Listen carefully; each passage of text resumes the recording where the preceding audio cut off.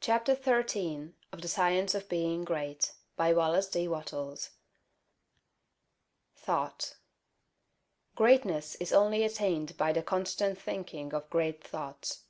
No man can become great in outward personality until he is great internally; and no man can be great internally until he thinks. No amount of education, reading, or study can make you great without thought; but thought can make you great with every little study. There are altogether too many people who are trying to make something of themselves by reading books without thinking. All such will fail. You are not mentally developed by what you read, but by what you think about what you read. Thinking is the hardest and most exhausting of all labor, and hence many people shrink from it.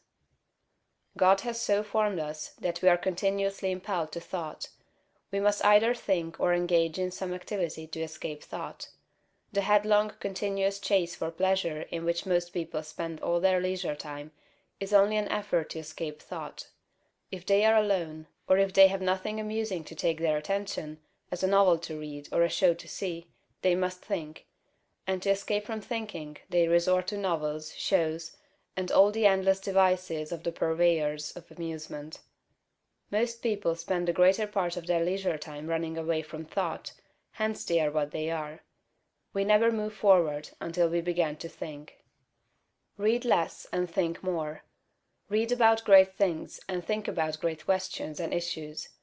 We have at the present time few really great figures in the political life of our country. Our politicians are a petty lot. There is no Lincoln, no Webster, no Clay, no Calhoun, no Jackson. Why? Because our present statesmen deal only with sordid and petty issues questions of dollars and cents, of expediency and party success, of material prosperity without regard to ethical right. Thinking along these lines does not call forth great souls. The statesmen of Lincoln's time and previous times dealt with questions of eternal truth, of human rights and justice. Men thought upon great themes, they thought great thoughts, and they became great men.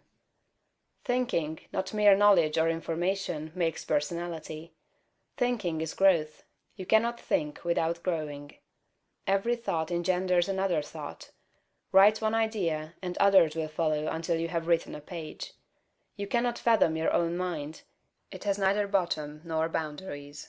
Your first thoughts may be crude; but as you go on thinking you will use more and more of yourself, you will quicken new brain cells into activity, and you will develop new faculties.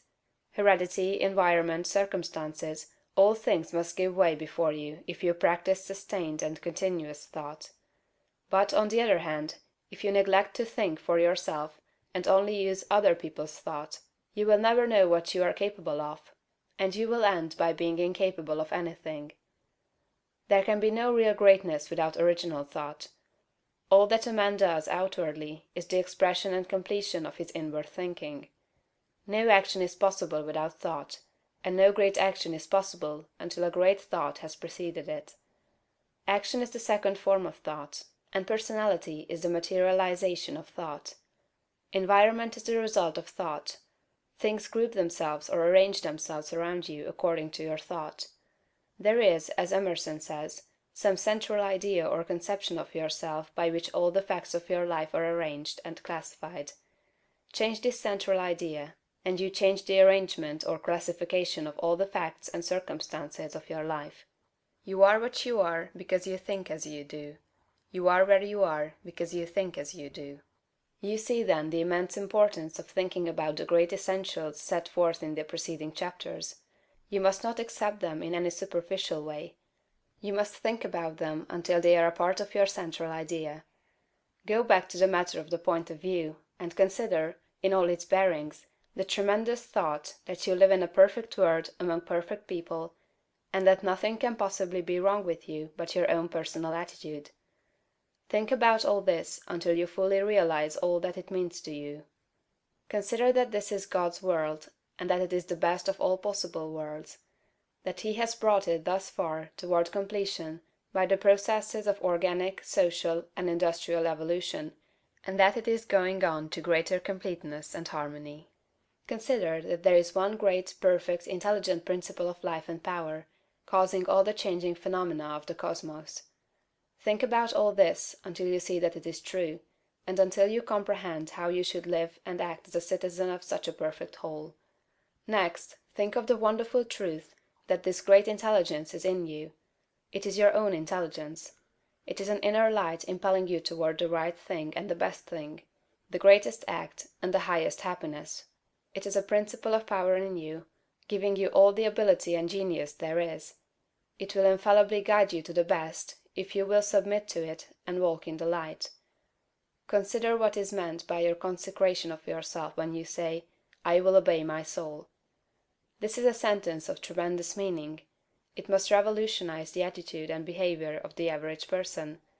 Then think of your identification with this Great Supreme, that all its knowledge is yours, and all its wisdom is yours for the asking. You are a god if you think like a god. If you think like a god you cannot fail to act like a god. Divine thoughts will surely externalize themselves in a divine life. Thoughts of power will end in a life of power. Great thoughts will manifest in a great personality. Think well of all this, and then you are ready to act. End of chapter XIV.